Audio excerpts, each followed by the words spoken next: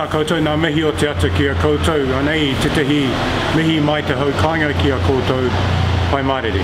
Welcome to this video which is really just a thank you from everybody in the community, the iwi kāinga, and for those of us who have been involved we want to say thank you for your service, thank you for your efforts.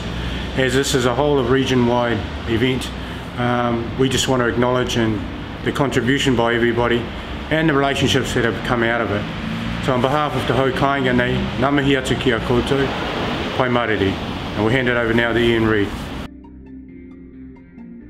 When this fire kicked off on the 5th of February, it was uh, right from the get-go, it was going to be difficult to contain and, uh, and to pull up and there was nothing that we could have done on that first day to have stopped that fire.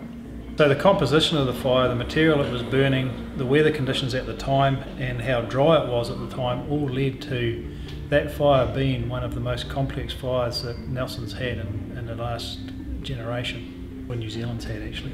When I first heard about the fire, I went straight to our district command centre.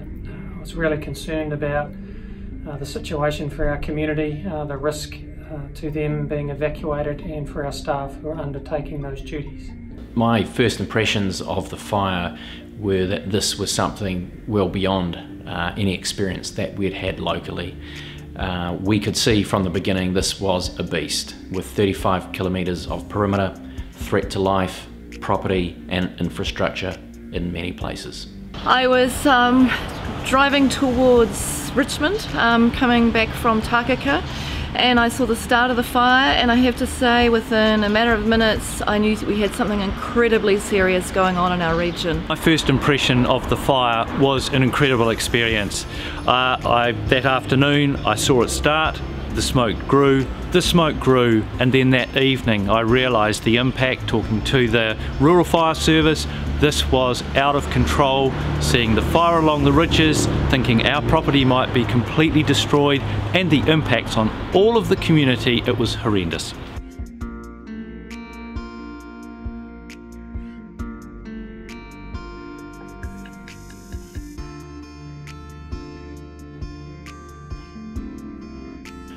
As the group controller, I just want to say a big heartfelt thank you to so many people for your support.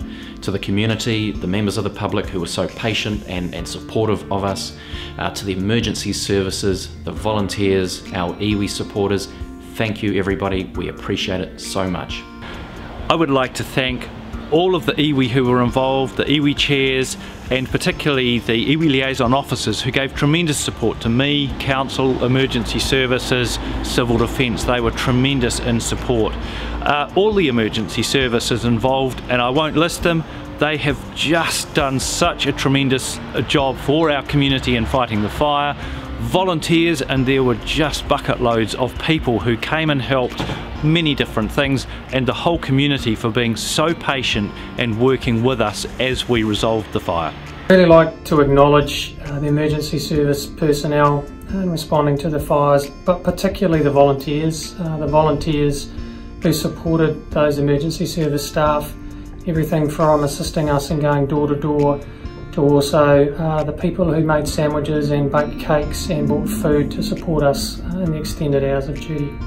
I just want to say a huge thank you to the Nelson Tasman community, to everybody that came out to support um, our families who were evacuated, to all of those wonderful people at the Suburbs Pavilion who organised and helped, to the businesses around our city.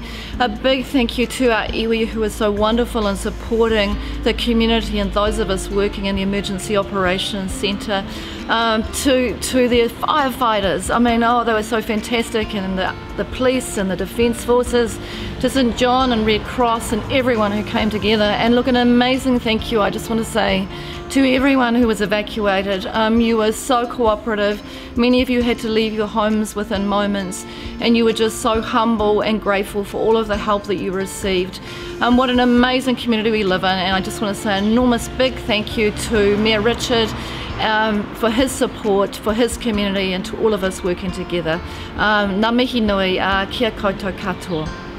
So this fire involved hundreds and hundreds of people.